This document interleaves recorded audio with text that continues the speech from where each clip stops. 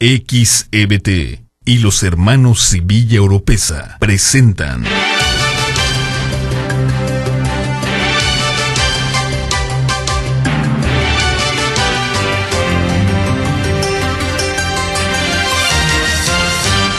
Son las 7 en punto de la mañana y esto es Telereportaje edición 21220. El diputado local José Antonio de la Vega disintió de la legisladora federal Georgina Trujillo en torno a las causas que han disparado los índices de desempleo en la entidad. Y es que mientras para el perredista la causa para la desocupación es la crisis petrolera, para la priista la reforma energética no tiene nada que ver.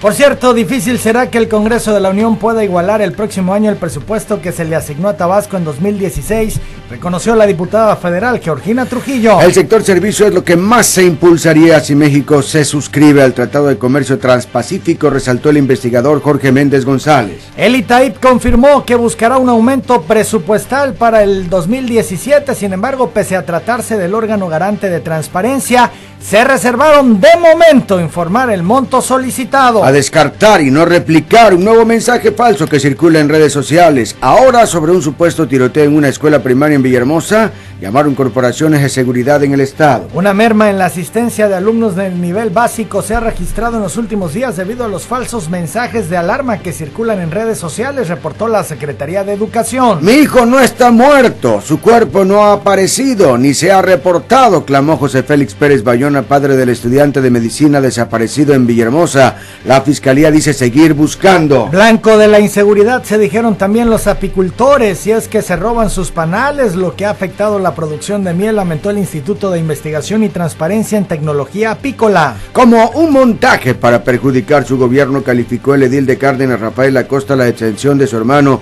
acusado de lesiones y daños. Al día siguiente fue liberado por falta de pruebas, afirmó. Investigados serán siete auditores del OSFE ante las quejas presentadas durante la revisión de obras de los tres poderes, acusados de realizar observaciones no equitativas, adelantó su titular José del Carmen López. En lo administrativo, más no en lo resarcitorio, es que fue exonerado el Club de los Olmecas de Tabasco, precisó el OSFE. Ninguna póliza de seguro tienen los animales del Yumca, confirmó su directora Alinka Olea. Son las siete con tres minutos y un ultimátum envió el METAP a la SCT si antes de 15 días no atiende las peticiones de transportistas de más de 11 uniones, realizarían movilizaciones en Villahermosa. De nueva cuenta, pobladores de diversas comunidades adheridas al movimiento antorchista de Tabasco se plantaron en el ayuntamiento de Centro.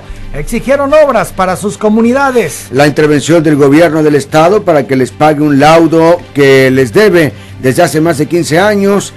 El ayuntamiento de Teapa solicitaron personas de la tercera edad en la Quinta Grijalva. El Pleno de la Cámara de Senadores aprobó el nombramiento de Raúl Cervantes Andrade como nuevo titular de la PGR.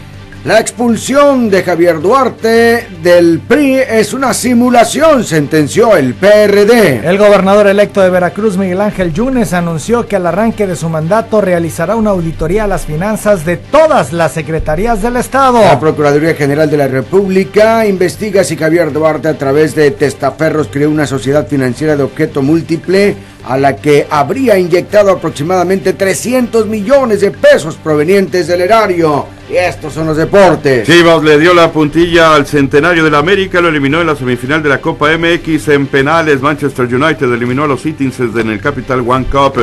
Puyol, el Chucky Lozano y más jugaron una cascarita con pilotos de Fórmula 1 dentro de la fiesta del Gran Premio de México. Jay Carrieta dominó y los cachorros igualaron la Serie Mundial a los indios de Cleveland. Ahora se traslada a Wrigley Field de la Ciudad de los Vientos. En la Liga Mexicana del Pacífico, Hermosillo derrotó a Culiacán seis carreras por tres, Mochi 6 a 5 a Obregón por la misma Pizarra Navojoa derrota a Mazatlán y Jalisco 5 a 4 a Mexicali.